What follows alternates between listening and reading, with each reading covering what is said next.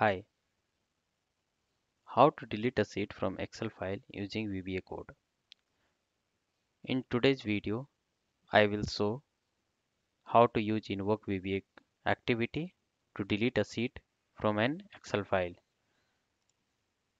We have a test Excel file where I have created multiple sheets, sheet 1, sheet 2, sheet 3.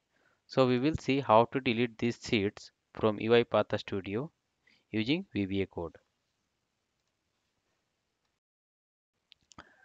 For this I have written a VBA code which will be used in UiPath Studio to delete a particular sheet. So here I will be passing a sheet name and then it will take it will use that sheet name and it will delete that sheet from Excel file. Let's come back to UiPath Studio. So I, am I have taken a new project where I am in the main workflow. I am uh, taking a sequence. Let's take to assign variable. I can take Excel path. Then path of the test file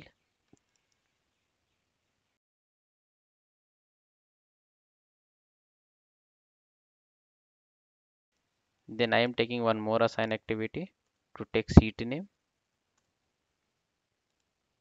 Let's assign this with seat 1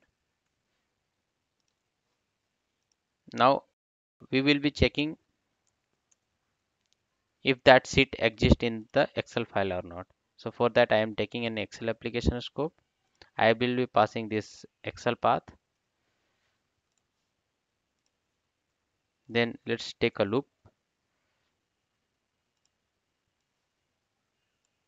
so before this loop uh, we have to get like what all sheets are available in this excel file so for that I can use this get workbook sheets activity. So this get workbook sheets activity will return an array variable. So I have taken an array sheets variable. I will pass this value here in this for each loop. Let's take one if condition. In if condition, we will check if the seat exists or not.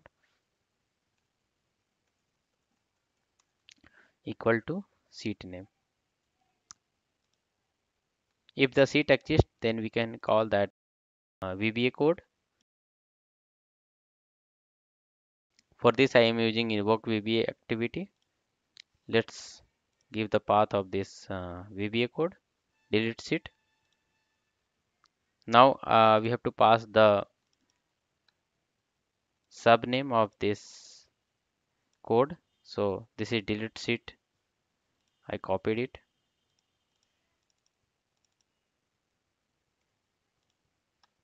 now we have to pass the parameter it means like we have to pass the sheet name so let's copy this variable and go to the entry method parameters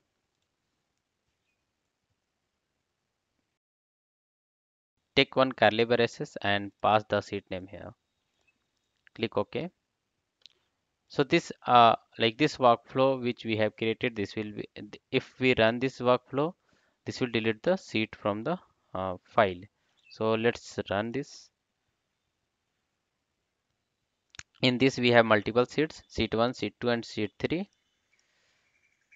let's close this file go to UiPath Studio. We we have passed this seat 1 as a variable. So let's run this code.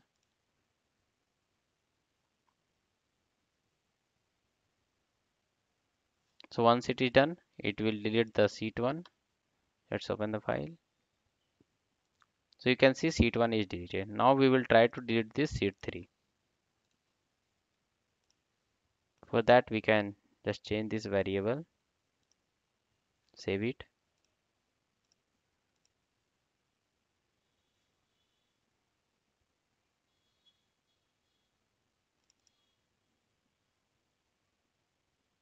Now we can see that sheet 3 is also deleted. If there is any question write into the comment. Thank you